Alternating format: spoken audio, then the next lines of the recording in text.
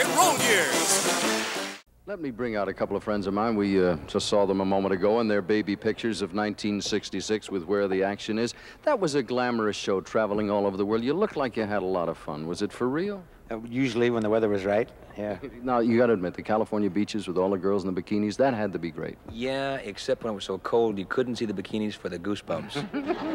Where was the place you told me one time where the dancers were passing out all day? True. If it wasn't cold, it was hot. I remember uh, it was uh, outside of Los Angeles at a speedway. It was about 140 degrees. It was the most hot day I think that had ever been on record in this country. Th those are the old days. Every time I seem to go to Las Vegas now, I see you at the Flamingo. Are you working there constantly or so many weeks a year? Uh, I have been working 12 weeks a year, and...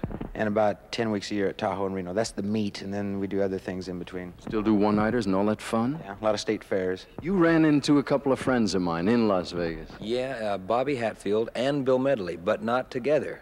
No longer the Righteous Brothers, working singly. Where were they? Uh, Bobby was at the um, Flamingo, and Bill was over at uh, the Hilton, right? Did you say hi? Oh, yeah, yeah. They come in and threw tomatoes.